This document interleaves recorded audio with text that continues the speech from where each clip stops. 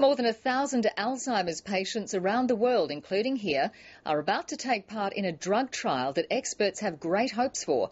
The drug works in a completely different way to other medications, and earlier trials have shown that it can improve symptoms of Alzheimer's.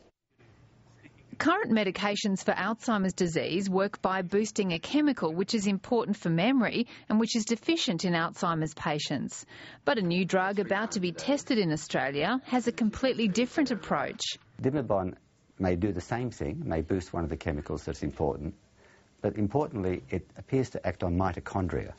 And mitochondrial damage appears to be part of the process of Alzheimer's disease. A large study published last year showed the medication improved patients' brain function and their behaviour.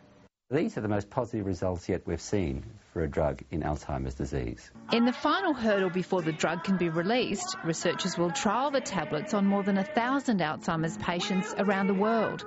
Anne Leonard was diagnosed with the disease six years ago when she was 59.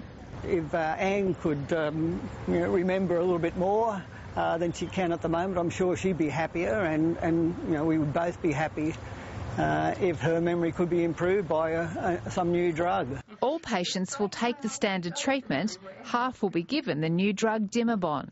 What we're hoping to see is a replication of the results that were shown in the first trial, which was a stabilisation or improvement of cognition, function and behaviour and general day-to-day -day abilities. Results of the trial are expected in around two years. Sophie Scott, ABC News.